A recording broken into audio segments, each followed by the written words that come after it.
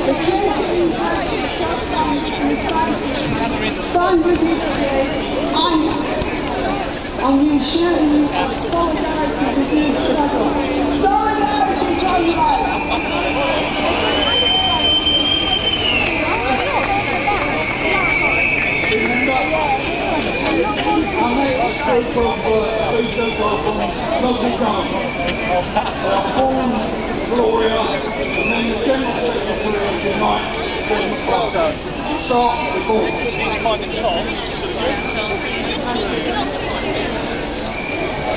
I bring you a message of solidarity this afternoon from the solid